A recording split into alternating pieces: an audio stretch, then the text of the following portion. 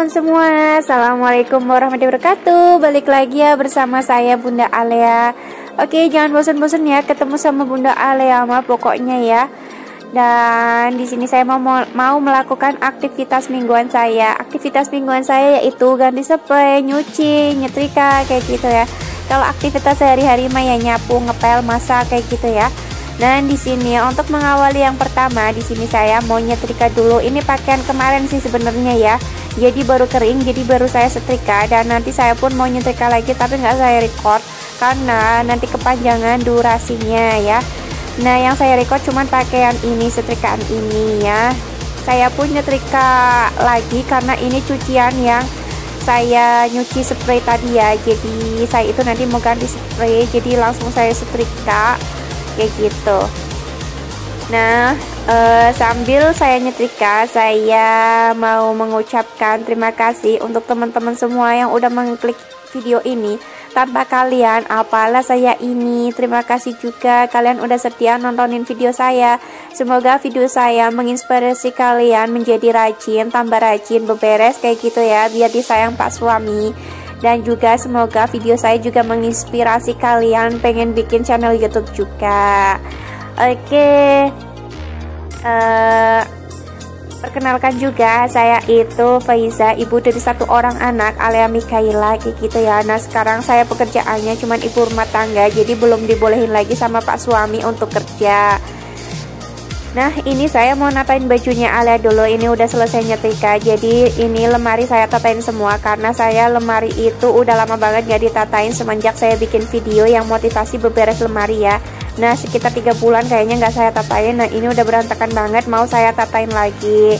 Karena sebenarnya yang bikin berantakan itu sebenarnya pak suami kayak gitu ya. Jadi kalau ngambil baju Alia itu asal narik aja jadinya ya udah berantakan. Jadi kita sebagai seorang ibu itu harus rajin-rajin uh, natain segalanya kayak gitu ya. Kadang pak suami itu emang nggak sejalan sama kita. Kita pengen rajin tapi pak suaminya apa-apa naruhnya sembarangan gitu ya. Jadi sebagai seorang ibu saya itu kita itu harus sabar-sabar. Ya nggak sih? Iyalah ya Nah ini udah mau selesai. Saya juga natain bajunya pak suami Tapi nggak saya record ya. Saya potong aja nanti kelamaan durasinya. Nah ini saya mau ganti spray. Saya lagi ngambil spray dulu.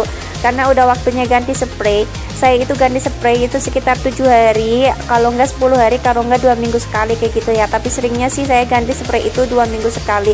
Karena males ya Hehe.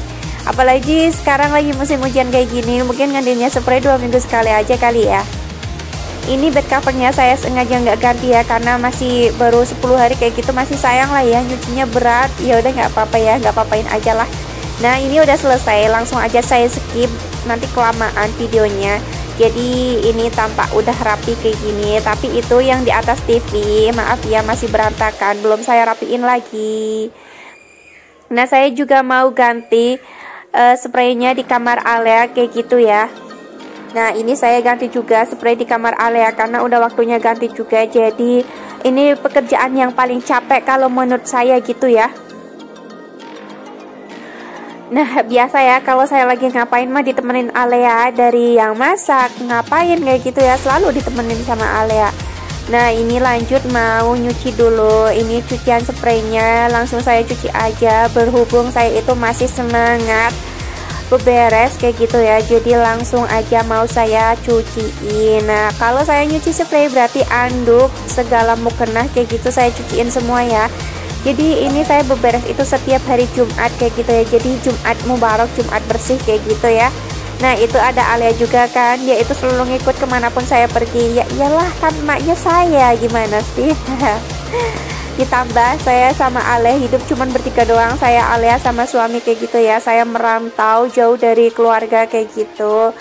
Nah ini cucian udah saya keringin. Saya skip aja nyucinya nah saya juga mau ngeringin lagi ini tadi baru sebagian doang yang saya keringin.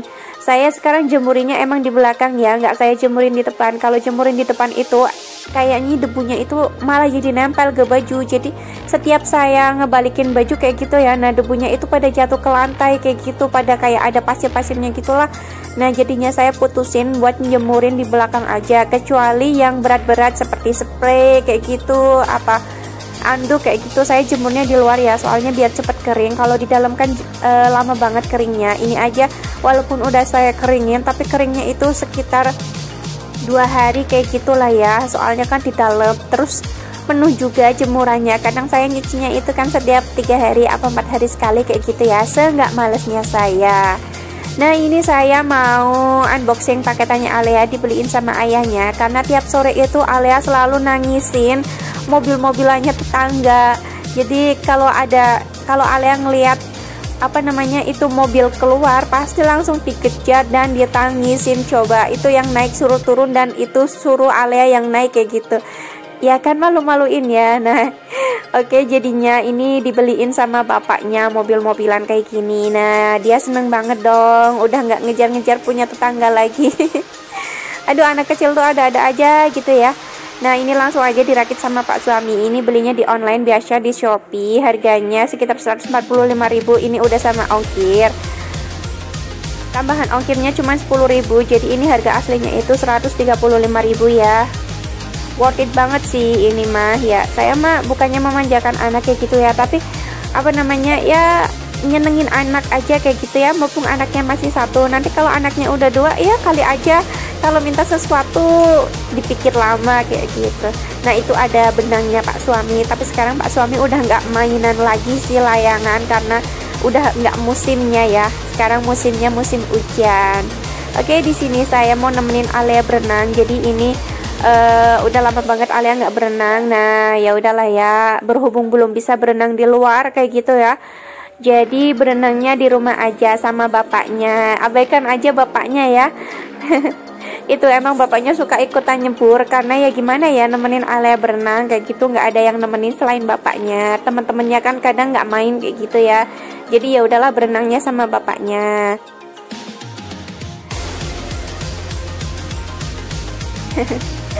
Kenapa itu lagi telinganya digituin? Seneng ya kalau ngelihat anak ceria tuh ya ampun.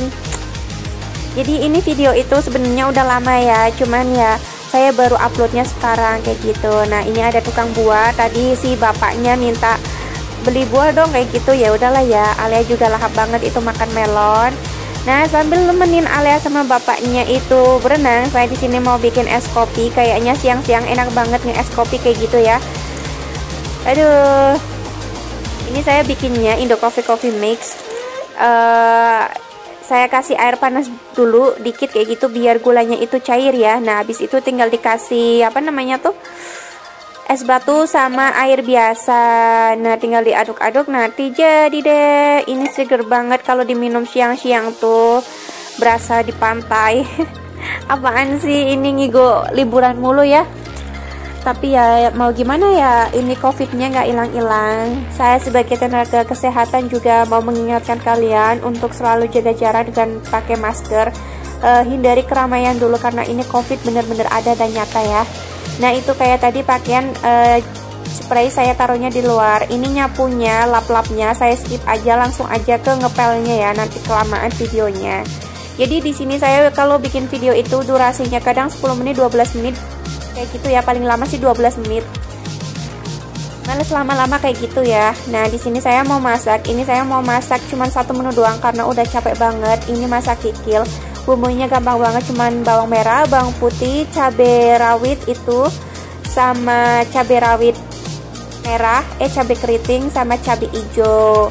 Ini ditumis-tumis sampai semuanya itu layu bumbunya. Kalau udah layu tinggal dimasukin bakso. Ini saya tambahin bakso ya jadi biar enak aja kayak gitu. Nah kalian pasti udah paham banget lah masak kayak gini. Aku mah apa? Atau yang uh, masaknya cuman gitu-gitu aja ya di sini saya emang jarang banget kan ya bikin video masak karena saya itu emang kurang hobi masak dan masakan saya cuman itu-itu aja. Ya, mohon dimaklumi ya. Nah ini saya pakainya cabai rawit sengaja dikituin nggak dipotongin karena pak suami itu nggak suka pedes jadinya ya udah ya saya sebagai istri mengalah aja kayak gitu cabenya masih utuh. Nah untuk bumbunya opsional ya kalian mau dikasih apa aja di sini saya cuma kasih gula, garam, penyedap rasa, saori sama kecap. Ini aja udah nikmat banget ya. Nah sebenarnya sebenarnya ini saya masak satu menu tapi menu yang pagi masih ada ya tahu kecap. Jadinya saya masaknya cuma satu menu aja. Karena capek kan ya habis nyuci kayak gitu. Aduh pekerjaan yang paling capek kalau menurut saya mah ya ganti spray kayak gitu. Terus dilanjut sama pekerjaan sehari-hari. Ya enggak sih? Iyain aja lah ya oke ini masakannya udah rapi eh udah rapi udah mateng. Terima kasih untuk kalian semua yang udah mengeklik eh, yang udah menonton sampai akhir. Jangan lupa juga ya di like, comment, and subscribe. Jangan lupa juga ditekan tombol loncengnya. Jadi kalau ada video dari saya langsung ada notifikasinya. Terima kasih. Wassalamualaikum warahmatullahi wabarakatuh. Enjoy.